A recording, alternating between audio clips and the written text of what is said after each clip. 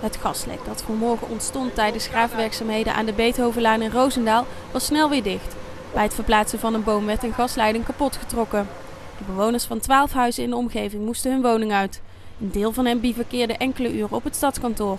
Anderen gingen naar familie. Het lek is rond half tien gedicht.